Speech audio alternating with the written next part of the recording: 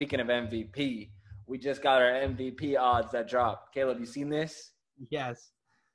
Do we want to talk about who's first? Because I don't want to talk about it. I'll talk about it. It's Luka at five to one. You hate me?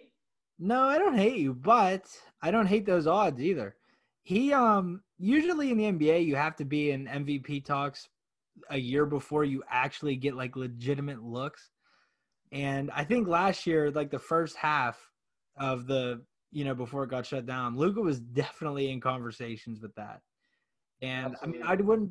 I don't think it's absurd to think he could sneak into that into that award next year, especially if Kristaps is healthy and they get like a top four seed in the West. I wouldn't be shocked. I could definitely see why Luka's up there. I mean, he. If you guys watched the playoffs, you saw Luka Magic. He is he is one of the most talented young players in the league. Um, that should have been a Sacramento King, but we'll move on. Uh, on top of Luka, you have Giannis and LeBron at six to one odds, right behind him.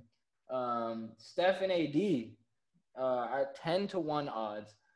James Harden at twelve to one. Nikola Jokic at 14 to 1 odds. Pretty interesting there to me. Uh, this one is a sleeper. Dame 16 to 1. Kevin Durant 16 to 1 odds. Jayson Tatum 20 to 1 odds. Shout out Caleb. Shout out the Celtics. Kawhi Leonard 25 to 1 odds. That's pretty interesting as well. Embiid 30 to 1. Um, interesting that there's no Bagley there, but I, you know we'll we'll move on.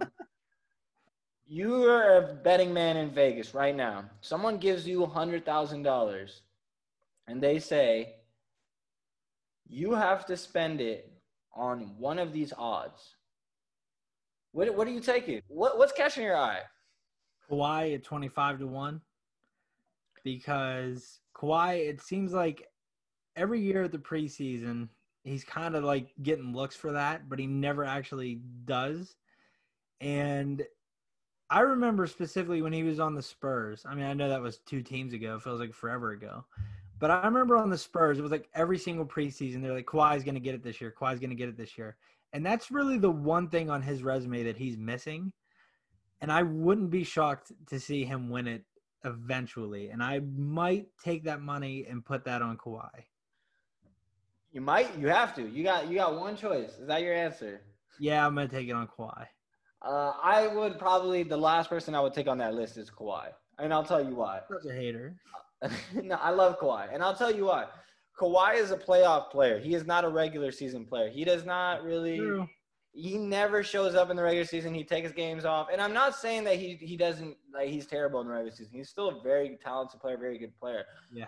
But we never see Kawhi play enough games. We never see him do enough. And on top of that, we got to remember the MVP award is a is a popularity contest, right? I don't take Kawhi for that reason. I don't think he can stay healthy long enough in the season, and he does stay healthy, but he likes to take care of his body because he has a degenerative knee.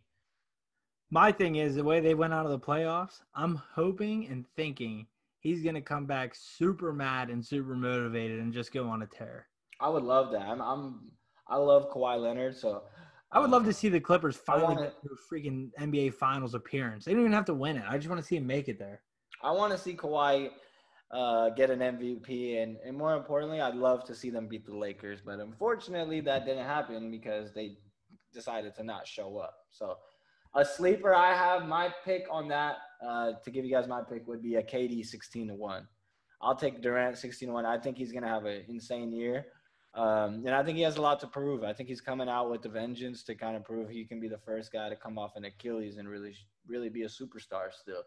Um, and and on top of that, 16 to 1 odds. Hey, I'm going straight to the bank with that because that is going to make me some good money. What is that? 16 times 100K is 1.6 million? I'll take that. I'll, I'll easily take that. Um, and, You're and not I- getting anything if I win. Oh, I, I don't want your money. I don't want your your petty money, anyways. Uh, you know who could